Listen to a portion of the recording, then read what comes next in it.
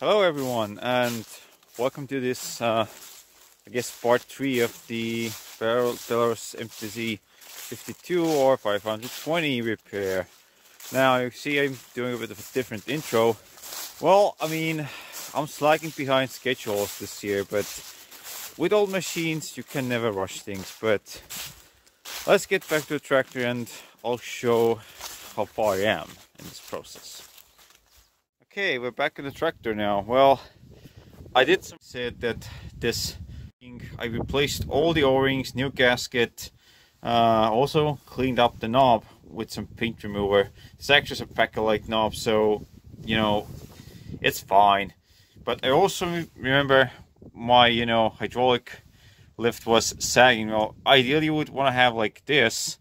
Well, there's still some free play and slack, but I basically removed all the pivots and links and got rid of most of the slack but the reason why I can't get rid of the uh, all the slack there's a few issues which I'm going to address right now but before I even start the machine and filled up with oil I found this on the ground. I was thinking huh that's a new hydraulic seal.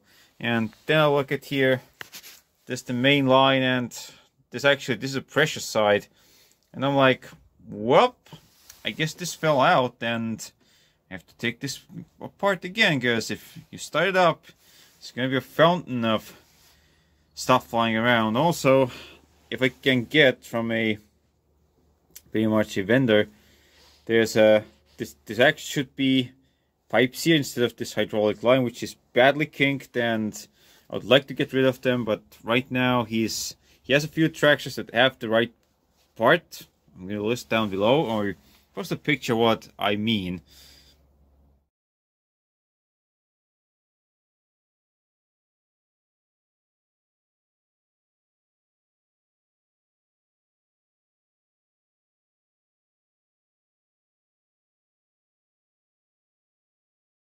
Here's the old pivot points removed and as you can see, well those who looked at the short, well, were amazed like how worn these are. This, this should be 8 millimeter holes you know but these all are egged out.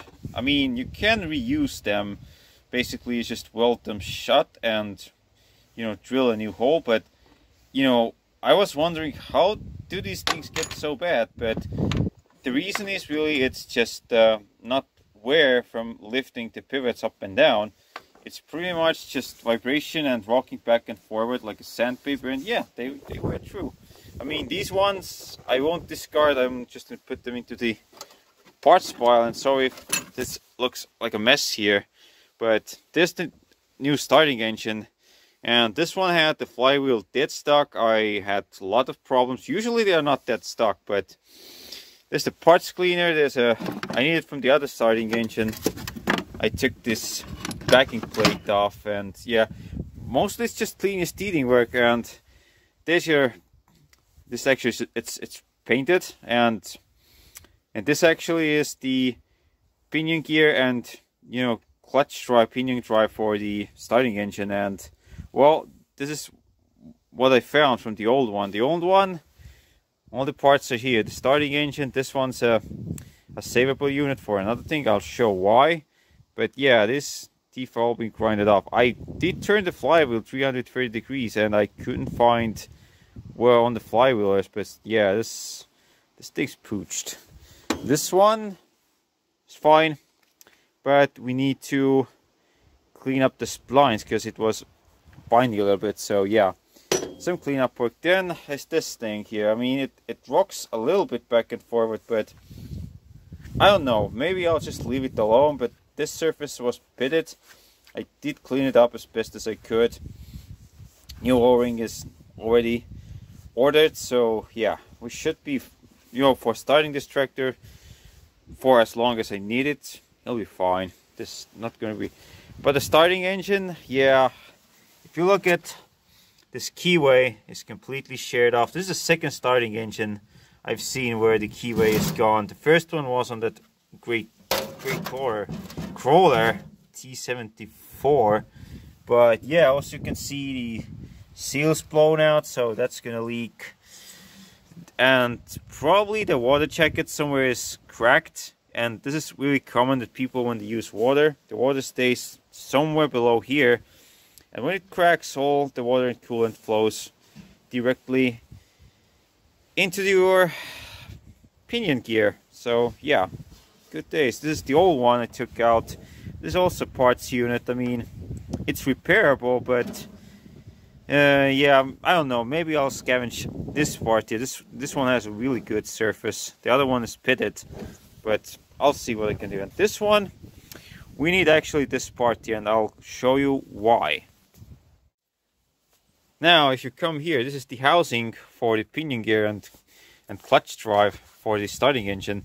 But if you go in and look at this side, this this side is missing, and there's a substantial crack now, how this crack forms, there's two ways. Either we had it filled up with water and it cracked, or usually also it cracks the sides, with are okay. But the other thing is something exploded here, or just the bearing exploded, or something ran so loose that it just took the lip. I don't know if you can see this, but yeah, there's a crack here. So in order to take this housing off, we have to split the tractor because there's three mounting bolts inside, so you can't get to them anyway. Right now, it's not a major concern. I took all the gunk out. There was so much gunk in there that like it was like it was just crazy amount of gunk. Also cleans the sides, the hydraulic tank, so we see where the leaks are, and and also I removed all the crappy fuel lines because they were just they were just about to, to fail anyway. So yeah, we're going to put some new, I don't have the, any steel lines here, but we have to put rubber lines, which I'm not a fan of, but you know what, they have to do the job. So now I'm going to talk about, remember that shared off keyway? Now this one has a good keyway and this has almost no bearing slack. So this one has been repaired before by someone. I don't know, this, this came out the scrapyard. Uh, no idea about the service life or anything else, but it looks fine. Just needs a bunch of new gaskets. But yeah, the keyway you saw on this starting engine is sheared off and this actually happens when the flywheel runs loose. And when it runs loose, it doesn't only take the keyway out on the crankshaft of the starting engine, it also takes out the key key and the keyway on the flywheel and this is actually dangerous because if this thing runs loose you can actually get hit with the starting engine flywheel. So this one is a major safety concern, especially with the older style uh, flywheels like I have on the red tractor.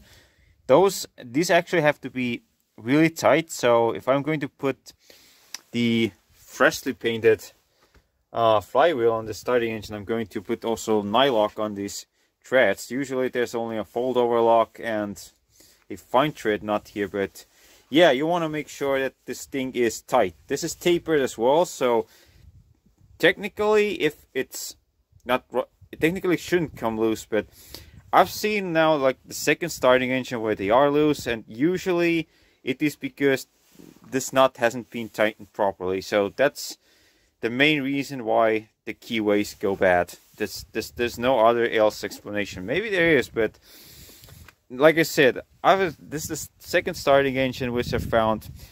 I'm not gonna discard this into scrap, and also yeah, we have a good part stoner for that housing. All of these will get stored, and this one is probably all a parts unit at best. But you know what? Starting engines are not easy to come by anymore, so I'll save it for a rainy day. We can't use the insides probably, but the other small bits and pieces, maybe the maybe that you know cylinder is good. I don't know. We have to take it off and assess the wear. So yeah, pretty much that's that's about it from this side. I mean, it's not really easy to work outside when it's uh, already autumn and it's minus one degrees. But you know what? Doesn't matter when you get the job done right. Oh boy, was I not right with the first guess. Now, I decided to take this uh, starting engine pinion gear and clutch drive apart. And well, I will say if you ever have to take this apart, uh, make sure you have a at least a 6 ton hydraulic press. And you have also a sort of, you, you have to heat the collar because that there is a really tight fit and you won't be able to just freaking hammer it out like never. So my advice would be just heat the collar and put some pressure on it and it will release itself. Now the bearing has also a snap ring which basically is a C-clip. So yeah, that one to dig out is also a pain in the butt. So just be aware of these things. Now I did actually discover that these uh, both of these units had their own issues. Like I'm going to say the bearings were wasted the thrust bearings were broken completely. But I managed to salvage from two units, one workable unit. And I will say um, it's you, you don't want to use pitted parts and you don't want to use parts that have like excessive wear. So one of these parts, one of these pinion clutches had actually uh, a bad shaft, but it had a good bushing. The other one had a bad bushing on the main the main hub and but the shaft was okay. So, like I say, having like dozens or more than one of these as a spare parts donor is a really good one. But like I say, this deserves the repair itself deserves a different video of its own. Now for the parts. Now here are the parts listed that you need to actually um, repair this thing. However, most of these parts like the shaft, uh, the pinion gear drive. These things are just unobtainiums. If you don't have any way to get a parts donor, your other best option is just to go to a direct starter. Because these things, yeah, they these have been obsolete for the past 25 to 30 years. So the availability of the parts for this starting engine pinion new clutches is just non-existent really. But if you're curious what I did use, then here's the list. And now let's move on further in time where I'm actually going to install the thing. Okay, here's a, sorry for the glare, here's a bit of an installment. Now I have the starting engine clutch and the pinion repaired. That was in November. But as I discovered, uh, we don't have these gaskets anymore in, in stock so I had to make one. And the funny thing is also you know I'm, I'm gonna say like when I repaired uh you know the, the starting engine clutch every bearing was wasted. Like if you're taking it apart um just have new bearings already in store. And there's a certain procedure how it's taken apart which I'm not going to show in this video. This it's that one deserves a let's say a special video of its own. However, let us try to put this thing where it belongs. Oh my gosh. So this has to go on first before anything else. As you can see, we have a workable unit. We want a co correct orientation. So let me put the gasket on. There's also an O-ring here, which I believe is a... Oh man, don't tell me you're not fitting. Son of a biscuit. Oh, oh there we go. See? You want to cooperate. I know you want to. I know you want to cooperate. Man, okay, bolt holes line up. Uh, why is this one not lining up? Oh, never mind. We have to probably punch a hole hole in one but yeah correct orientation. Uh, you have to keep in mind this is your lever. This has to go this way and so let me see if I can get it started. And the o-ring I have is oh my god it's too, too thin but whatever. So it goes in starts going like this I'm going to engage it. Then you want to do this and it's just kind of yank it in like this okay? If you already know it goes then let me see if I can orient oh my god this gasket's the worst. That's stuck. Why the heck you're stuck? Oh my god. Oh there we go. I, I don't know mine I made it you know, perfect, but something else is. Okay. Man, that o-ring is tight. Let me get some persuasion tools.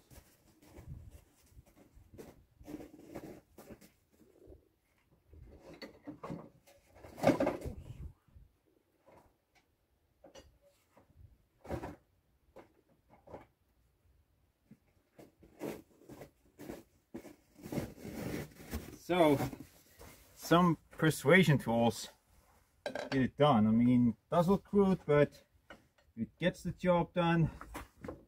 That's all I'm concerned of. Oh yeah. Come on, baby, go in. What's your freaking problem, good sir? Oh man. You tell me we're going to be stuck with this shenanigans for the next hour or so. That'll be a disaster. So the bolt hole doesn't line up. Man, stupid Soviet machinery. nope. You ain't going. Well, I'm gonna get this thing seated because this o-ring needs to seat uh, seat into this housing but I don't understand why it doesn't want to go there hold, hold on let me see if there's something else going on here. Oh yeah. I think we may need longer bolts. This, uh, yeah, it's gonna take forever. See you back when I'm done with it. Alrighty, we have the starting engine pinion clutch assembly installed. Now, tip of advice, uh, put the Bendix into the engaged position. Otherwise, you won't have enough clearance. And how to solve the problem with the persuasion of the O-ring? Uh, put, I don't know, longer bolts or studs. The M10 metric coarse thread. So you have to use four to guide it, and then you have to just, you know, uh, just turn these turn these bolts, and it will just start going inwards it's a really tight fit. So yeah that's why we couldn't get it installed the first time. Now since we have a new assembly here uh, I'm going to put some oil into it. So that's your that's your drain block.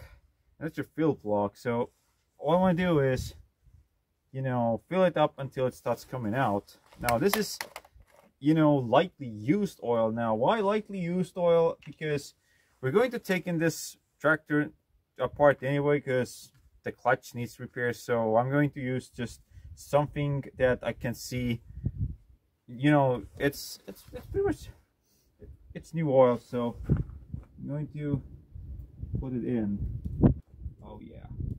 Lots of it.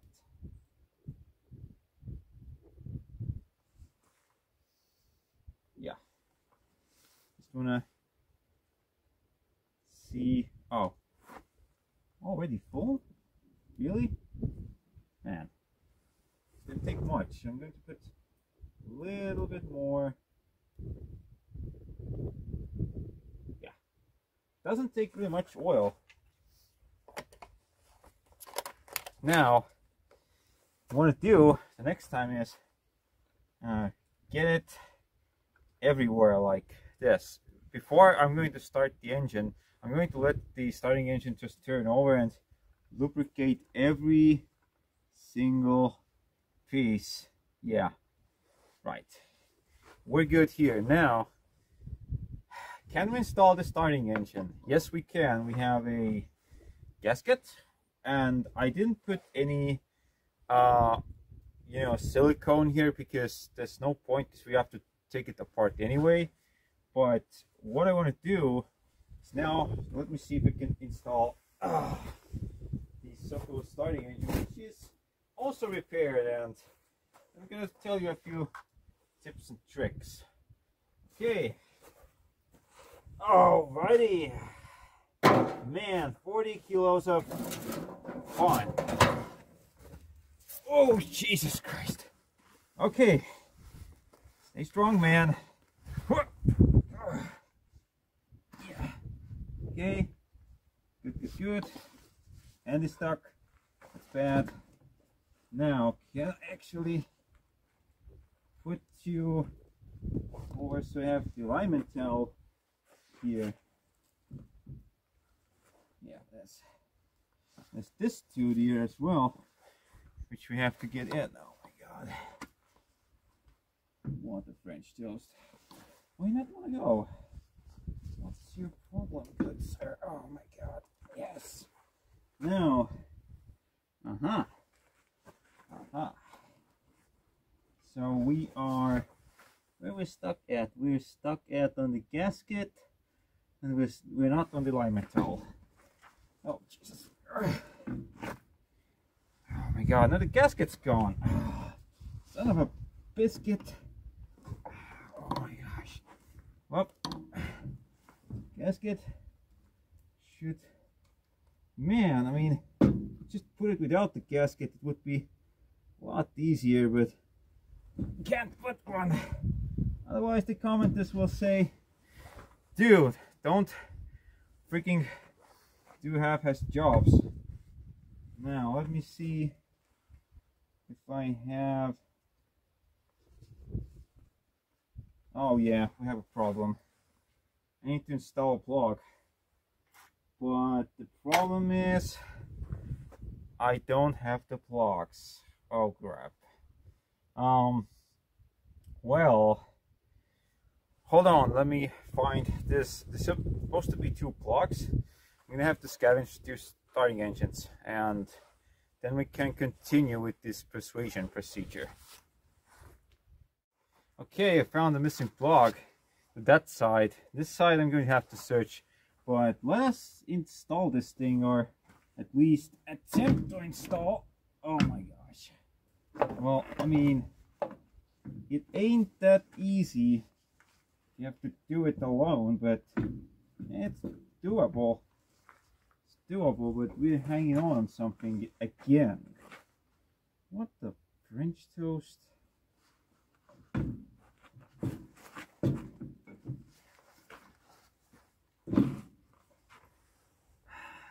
Really?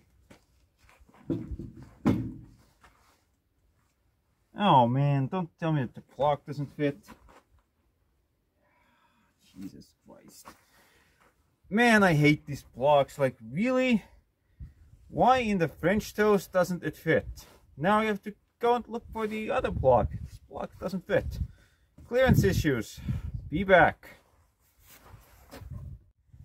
Alrighty, I got it installed. I had to actually borrow the missing plug from the crawler all the other starting engines I have had none of the plugs left. So the plug is a fine thread. Uh, it basically the same thread as a grease fitting.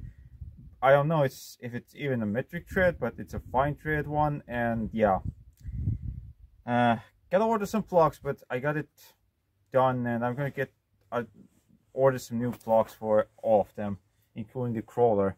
Uh, people would, you know, I put the grease fitting here just as a temporary placeholder. Now, we got it installed. One of the dowels was, you know, hanging on to it, but it's there and it's secured. Now, next piece is this backing plate for the pony engine starter. And if you have an old 500, 500 series Belarus or old 800, you want to get the one that has multiple holes in it. Crawlers, uh, harvesters, and I believe have just only one set of holes so the starter is like this but in here there's no clearance so you want to get the one that has the multiple holes plate. Uh, I believe this has a part number but I am convinced these ones are out of production for many decades. And before we're going to install the flywheel this has to come go on first then goes the flywheel the flywheel nut the key Woodruff key. I mean, the key is installed. It's good. And off camera, I'm going to install some of the carburetor. That's I have to figure out because the old carburetor would just overflood the engine constantly. So I want to have a decent one. So I'm, I'm to see what I can scavenge. But in the meanwhile, we can install these things. And now as I told you, I'm using a made in Lithuania starting engine repair kit and they don't have this seal and this seal is for your magneto so it goes here but for some reason the Lithuanians uh, don't include this gasket. I don't know why. I mean, no offense. I mean, they make good gaskets, but uh, this one you maybe, if you have a starting engine that has a magneto on it, you may have to make this one yourself. The same as the seal for the pinion gear drive. So yeah, fun times, fun times. Uh, I'm gonna assemble more of these things here and we're gonna continue with the starting engine carburetor because that itself is can become a real pain if it's you know not done. This starting engine, all I did was put new seals in it, make sure the end play was correct. Uh, new head gasket because the old one was pooched uh yeah. Just the regular stuff. It's a two-stroke. It'll run if the bearings aren't shot and yeah i'm gonna get busy now and we'll see in the next clip.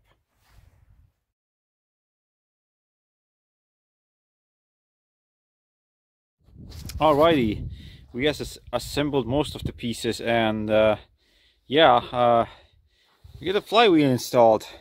And I looked at the end play. It's good. No slack nothing.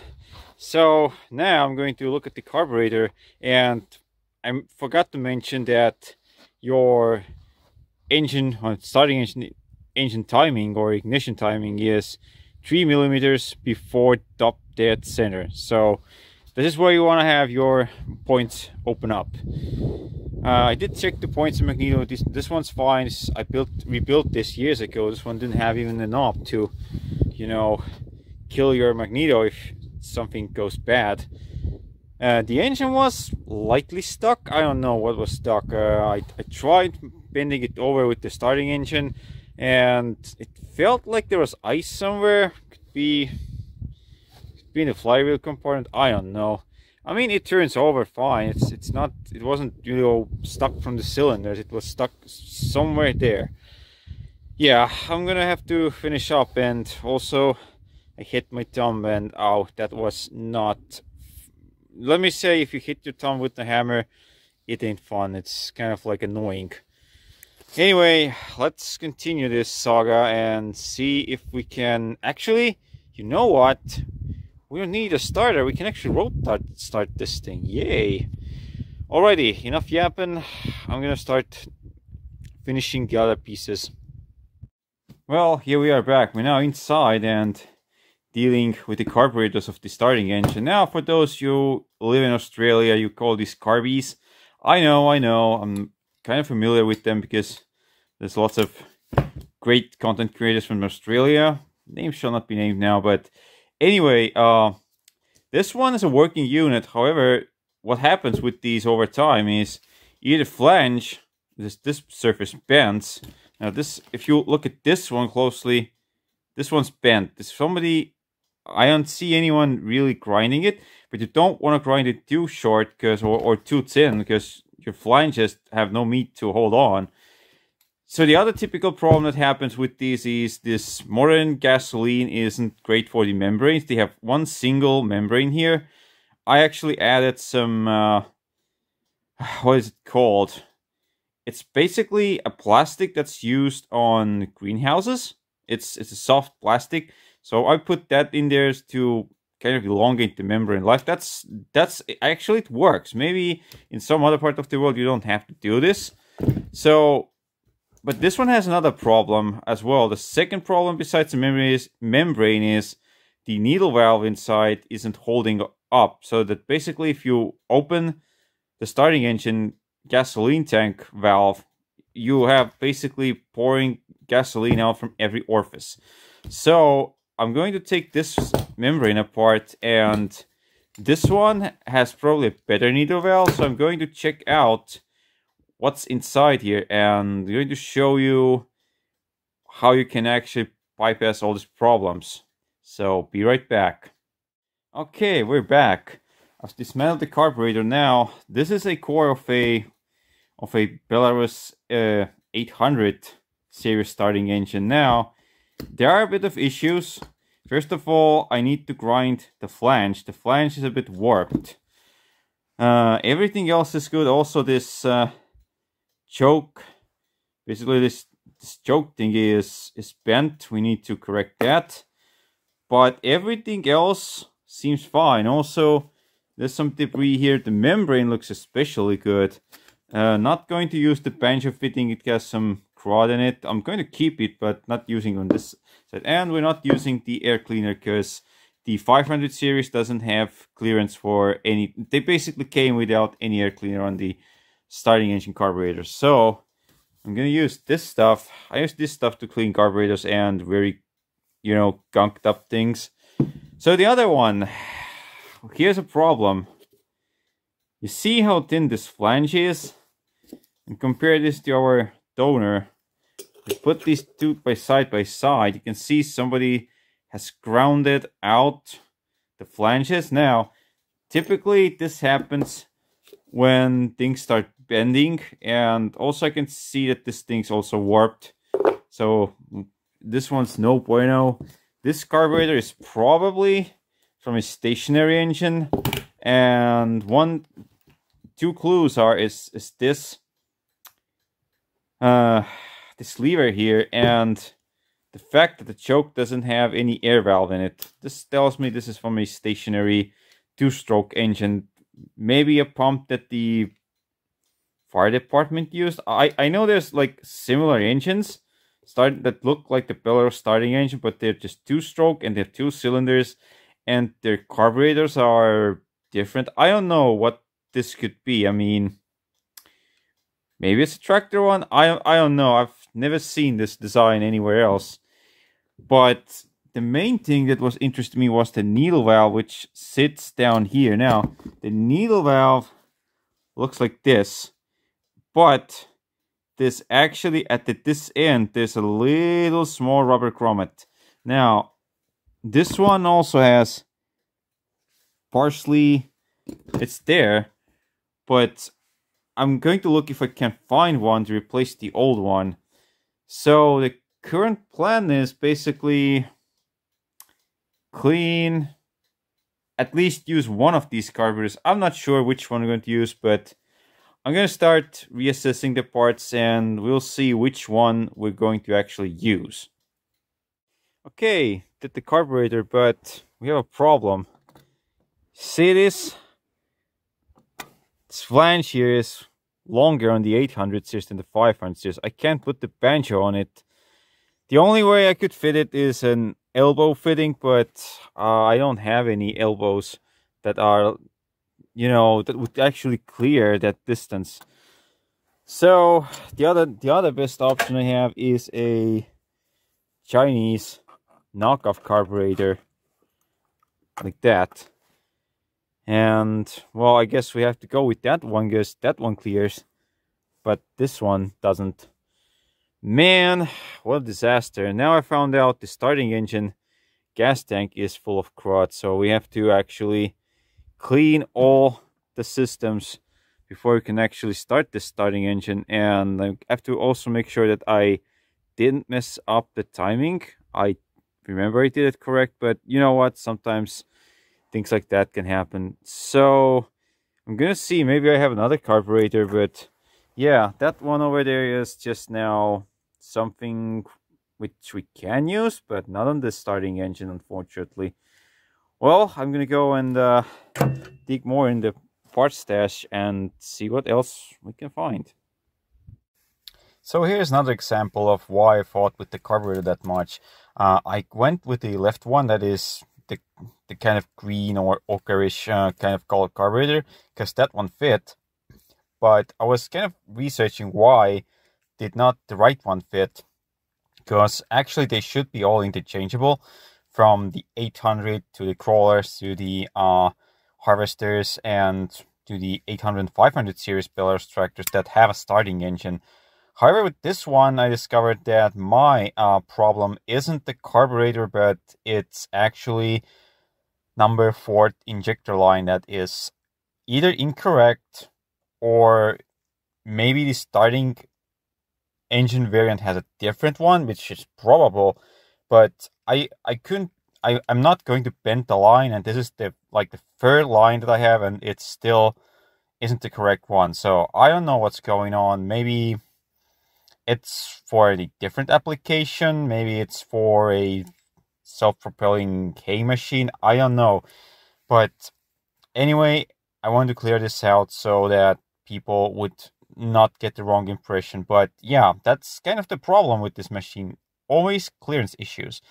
Now, with this exhaust pipe for the starting engine, I went with the exhaust pipe that I knew was good and fine, but when you look at the pictures, you'll see the pipe is kind of cocked into one side. It should be straight. So the reason why it looks like this is somebody in the past welded the flange wrong and now it's kind of sticking into one side. It should be straight. It should go straight under the air cleaner. And we can't have this one because it's running, you know, it's kind of a hot exhaust and it's go running just exactly on top of the fuel line. So you don't want to have anything like that. So yeah, uh, I had to go back to the old rusty one. Thank God I didn't throw it away. But anyway, we're now continuing with the other part that I was filming sometime in the past. Alrighty, we're back. Remember I had the issue with the hydraulic lines? Now, when you look at the picture, this is your pressure side line and it would not line up. So I took the other line, which is also a pressure line inside the hydraulic unit and look what I discovered. I discovered that these have to be like the really old early 60s style tubes. These are the uh, right side tubes and I'm going to get replace them as well because they're all kinked, they're all bad they've been you know braced in the past. Also like somebody had had clearance issues before because there's a ton of copper washers. We're gonna have to replace those as well. And finally i have to go to the local salvage yard and find the right 500 ones. Now the 800 series has a similar tube but that line or tube or whatever we wish to call it is shorter than on the 500 series. So we do need the 500 one anyway. And since I was there I also put some alignment dowels onto the rear bolster and secured all the bolts. Now never mind this fabric gobble here. This isn't been done by me but someone else. And it's it's cracked as well from several sides. So this this is a typical problem with these 500 series, but I'm going to address this issue later once we're going to find a better replacement. But right now, this will do. But with these lines, uh, I'm going to go the route and get the right ones from a parts tractor. And for me, they're fairly inexpensive. They're not that expensive at all. But yeah, I guess uh, the hydraulic system rebuild just continues. It's like a gift that keeps on giving. Now here's another interesting issue. I battled with these uh, hydraulic, not only the hoses, but also with these hydraulic lines. And all the lines I had were just badly kinked, damaged. They're the older style lines. They're a million banjo fittings. And one thing I will say recommend to do is if you get like lines like these, always, you know, flat file the banjo fittings because otherwise they will just leak. They're they're usually old, they're bent, uh, not true anymore. The surfaces aren't, aren't true. I mean by that. And also, I decided to go for the newer style hydraulic uh, pressure line from the hydraulic pump because pretty much that eliminates a lot of very bad leak points. The only thing I did was put a new O-ring in there and some new hardware and we're good to go. But I will say there is actually a right and wrong way of doing this. You definitely want to get certain pressure lines in first and then do the sidelines and maybe leave the last pressure line that you know goes from the hydraulic spool valves into the I don't know what's it called, but you know what what it where what place it goes and then you should have no clearance issues by fitting your wrenches and all the other equipment. So just keep that in mind if you're taking apart. For me, this was probably the most tedious and time consuming work of all, just fixing all the leaks. Now, off screen, I did repair the hydraulic cylinder as well. There wasn't nothing really bad with it. Just, just let, let me say the O-rings were just non-functional anymore. But anyway, let's continue with the next piece of video. Alrighty, I think I have everything ready so I can do the first cold start of this engine since uh, May of 2023. Uh, so uh, let's see what's gonna happen. I think uh, I'm going to see if the engine turns over and uh, that there's no substantial leaks. And then I'm going to put some fuel into the tank because the fuel tank's kind of empty. And also figure out where I lost the cap for the uh, starting engine fuel tank. So yeah. Let's see what's gonna happen. Okay. Righty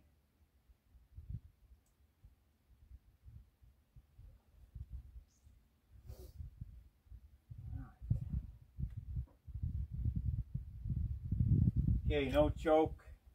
Appendix is engaged. We're in neutral. Let's fucking see what's gonna happen.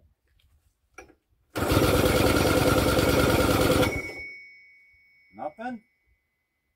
Really? Choke?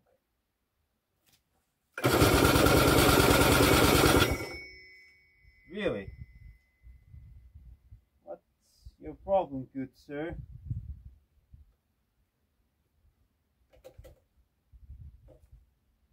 put this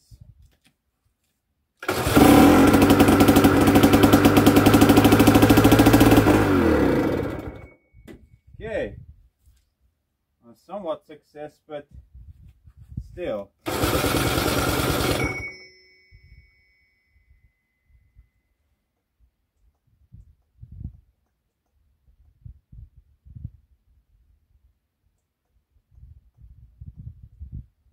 starving on fuel again. What the crap, man? I don't understand. There's plenty of fuel, but for some reason, just doesn't want to reach the freaking carburetor. Oh, man.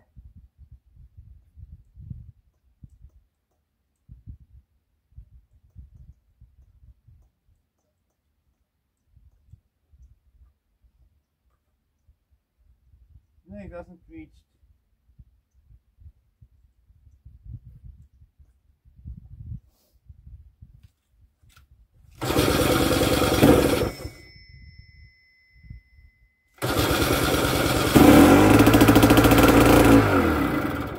Yeah, we have fuel starvation issues again.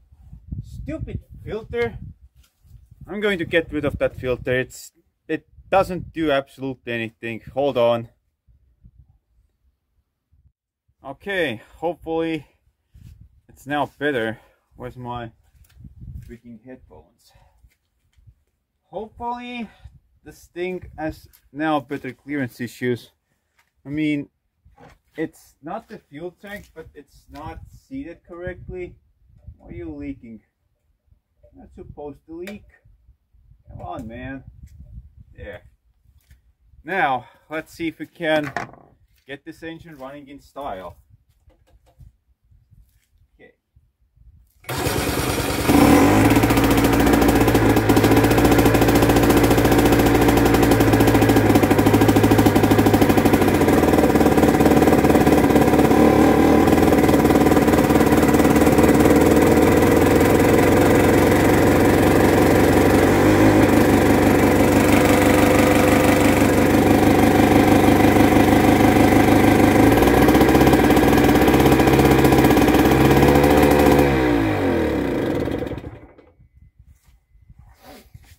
Okay, I'm now going to add the diesel fuel.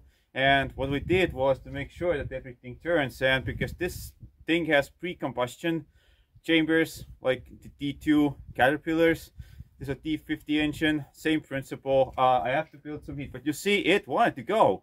It wanted. Okay let me do some little refurbishments and we're going to make this thing run.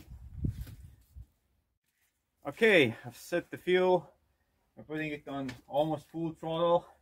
let's see what's gonna happen. Three times is the charm, like they say. Alrighty. Hopefully, all goes well.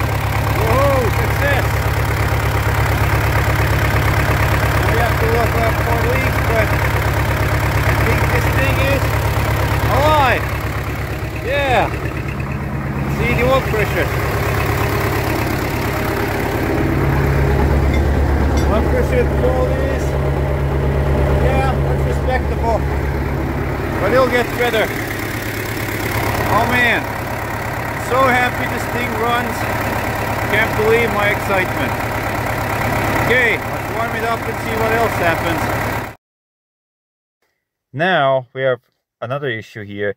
Well, I decided to take the hydraulic filter out because I was not sure what I would get or if it's even there.